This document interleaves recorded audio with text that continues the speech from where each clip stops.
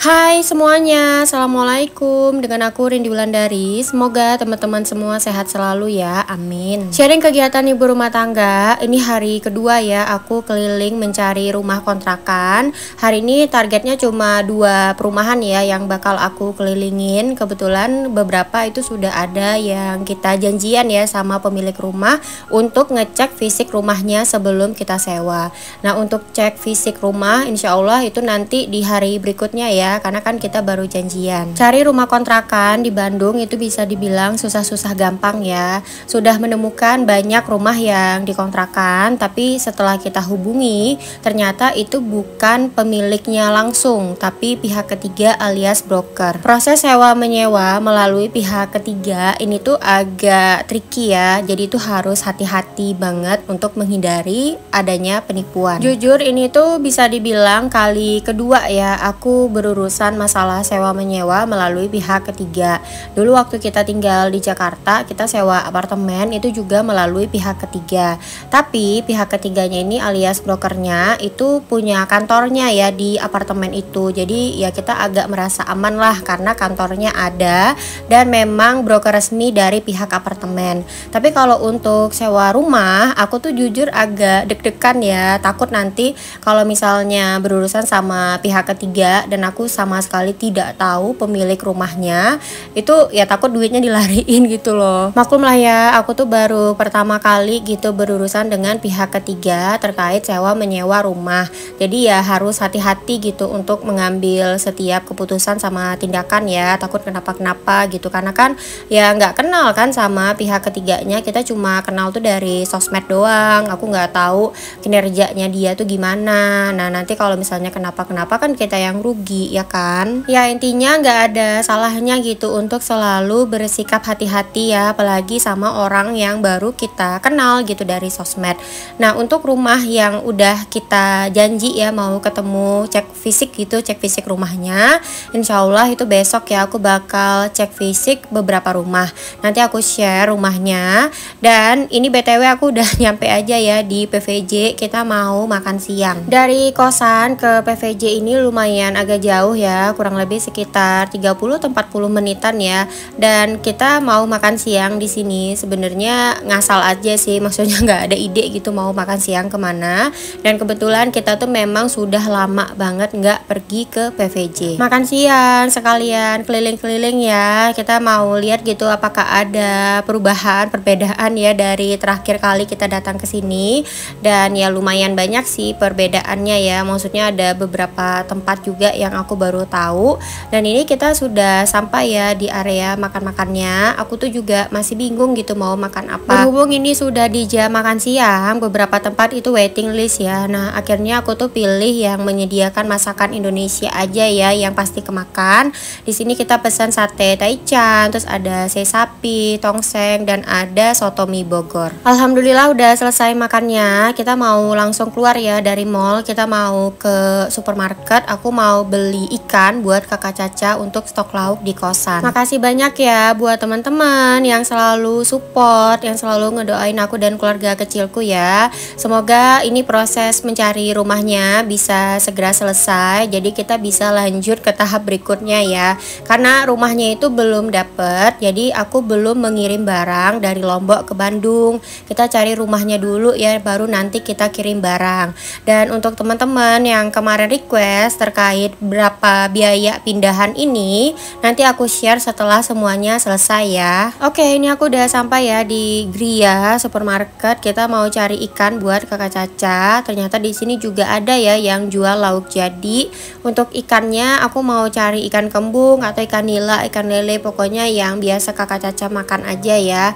Untuk harga ikannya ini tuh aku nggak tahu ya mahal atau murah. Cuma karena aku butuh ya aku beli aja. Katanya ada minimarket lain juga ya namanya Yogya atau Jogja ya ngomongnya Yogya kali ya.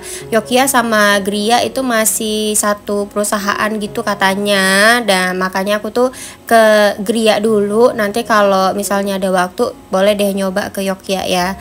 Dan ini aku beli ikan kembungnya tiga ekor aja. Aku baru tahu kalau beli ikan di sini tuh ternyata udah langsung dibersihin. Dan masnya juga udah nanya gitu ke kita ikannya mau dipotong-potong berapa gitu jadi ya enak banget ya bisa terima bersih. Ini aku coba beli ikannya satu jenis aja ya karena ya kita ngecek dulu deh harganya. Kalau misalnya cocok next kita beli lagi di sini. Karena pelayanannya enak banget kan udah langsung dibersihin ikannya. Dan untuk setengah kilo ikan ya aku kena di harga 40.800 itu tadi untuk tiga ekor. Terus aku beli ayam bumbu kuning juga ini harganya 16.000 aku pengen nyoba gitu rasa bumbunya enak atau enggak. Dan ini aku juga beli gas ya gas kecil untuk masak di kosan. Selain beli gas aku juga ada beli beberapa pewangi ya untuk toilet. Ini aja sih yang kita beli di Gria. Dan aku baru tahu ternyata Gria itu disebutnya bukan supermarket ya tapi Toserba. Oke lanjut ya belanjanya. Tadi siang itu kita sudah belanja ke Gria. Nah kali ini kita belanjanya di Superindo. Ini malam-malam ya aku pergi ke Superindo karena masih mau mencari ikan buat kakak Caca. Kebetulan di area aku ngekos ini tuh ada Gria ada Yogya ada Superindo ada Borma juga ada Transmart. Nah kita tuh nanti bakalan nyoba ya belanja satu-satu gitu ke masing-masing tos serba tadi untuk ngecek-ngecek harga juga. Atau kalau teman-teman di rumah bisa kasih kita info ya di mana kira-kira tempat belanja yang termurah boleh ya di komen aja. Buah-buahan di Superindo ini kelihatan seger-seger banget. Tadi pas suami udah ngambil buah jeruk ya nanti kita timbang bareng-bareng ke belakang. Sekalian aku mau beli ikan lagi buat kakak Caca. Untuk buah-buahan yang lain di sini juga banyak banget sih pilihannya. Sangat-sangat menarik. Dan untuk harganya masih standar lah harga buah. Maksudnya nggak jauh beda gitu antara harga buah di Bandung sama di Mataram. Oh iya buat teman-teman mungkin yang baru bergabung ya di channel ini selamat datang dan salam kenal ya semuanya. Terima kasih buat teman-teman yang udah selalu nonton videonya dari awal sampai akhir yang selalu like, komen dan yang udah subscribe juga. Terima kasih banyak ya. Semoga teman-teman semua selalu sehat dan bahagia di mana pun kalian berada. Amin. Oke lanjut belanja. Ini aku sudah ada di area ikannya ya. Langsung aja. Ini aku mau ngecek-ngecek jenis ikan yang ada di sini. Dan pas suami juga mengingatkan ya untuk gak lupa gitu. Jangan lupa maksudnya beli bumbu instannya ya untuk menggoreng ikan. Nah untuk ikannya aku nggak tahu ini masih sama nggak ya jenisnya sama yang siang tadi kita beli. Yang jelas ini kayak ikan kembung ya. Jadi ini aku ambil sama jumlahnya tiga ekor aja. Dan nanti kita cek ya totalannya berapa. Untuk servisnya ternyata juga sama. Kalau beli ikan di sini udah dibersihin udah dicuci dan udah dipotong juga. Pokoknya terima beres aja ya. Nanti sampai rumah bisa tinggal dicuci ulang aja langsung dibumbuin digoreng.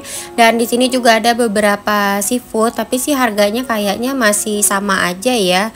Dan untuk ikan-ikanan yang lain di sini tuh cuma ada ikan bakar. Aku kalau nggak salah itu lihat di sosmed katanya di Superindo itu lumayan banyak yang jual makanan jadi. Tapi yang di Superindo aku datangin ini nggak terlalu banyak. Oke ini beratnya hampir setengah kilo harganya 27 ribuan. Ya masih lebih murah sih ya dibandingkan tempat yang pertama.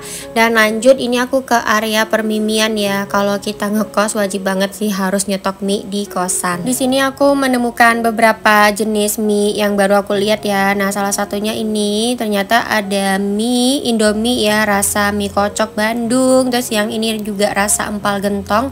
Ini khas Jawa Barat. Jadi kayaknya bisa kali ya dijadiin oleh-oleh kalau misalnya pulang kampung ke Jambi. Oh iya waktu itu ada yang tanya aku nanti lebarannya bakal balik lagi ke Lombok atau enggak? Nah kita itu lebarannya di Surabaya ya lebih tepatnya di Kediri.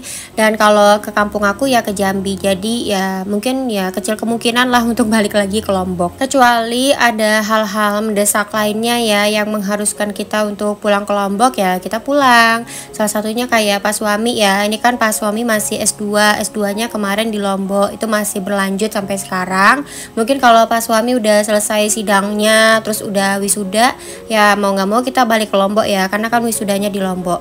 Dan ini ada sayur tadi aku pegang jukut ya alias selada air. Aku baru pertama kali lihat dan megang sayurnya ya. Aku nggak tahu itu bisa dimasak apa kalau dari sosmed cuma digoreng aja ya digoreng kering. Aku nggak tahu selada air ini selain digoreng bisa dimasak apa lagi. Kayaknya nanti harus cari info ya mengenai sayur yang satu itu. Terus ini meleng-meleng dikit ya tiba-tiba pas suami udah ngisi-ngisi beberapa cemilan ya buat dia sendiri. Dan lanjut ini aku mau nyobain beli roti ini buat sarapan. Oke ini aja sih belanjaan kita ya di Superindo. Terus ini kakak Caca juga minta tadi dibeliin Yupi. Dan langsung aja kita bayar bayar. Tapi nanti habis ini kayaknya aku mampir lagi ya ke Alfamart di depan rumah. Karena ternyata dari hasil belanjaan kita ini aku lupa untuk beli deterjen. Ini tuh efek belanja nggak bawa catatan ya. Nah di Alfamart depan kosan ini kita juga rencananya mau nambah lagi untuk beli gas ya buat masak di kosan. Gas yang kaleng kecil itu sepengalaman aku cuma bisa dipakai untuk dua kali masak ya. Lebih dari itu nggak bisa jadi itu aku harus nyetok beberapa kaleng gas di kosan biar nggak bolak-balik mulu. Sebenarnya ada sih gas ya di kosan maksudnya udah ada di dapur yang gas melon. Cuma karena jarak kamar aku ke dapur itu lumayan jauh jadinya aku mager ke belakang. Aku masaknya ya di kamar aja. Sejauh ini masaknya juga yang simpel-simpel ya kayak bikin telur dada telur ceplok atau misalnya ngegoreng ikan buat kakak Caca masak mie. Lebih sering buat masak mie ya.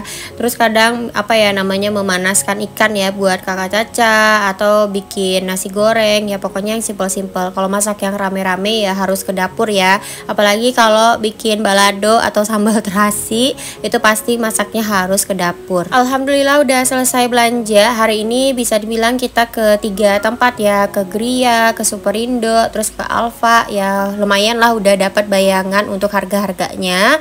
Dan terakhir ini sebelum kita balik ke kosan aku mampir untuk beli nasi goreng karena udah lapar. Bandung itu udaranya dingin ya lebih dingin daripada Mataram. Terus karena aku bisa dibilang gak ada kerjaan alias cuma makan tidur bawaannya ya lapar mulu. Berat badan jangan ditanya ya udah pasti naik. Pokoknya timbangan selama di Bandung itu selalu ke kanan.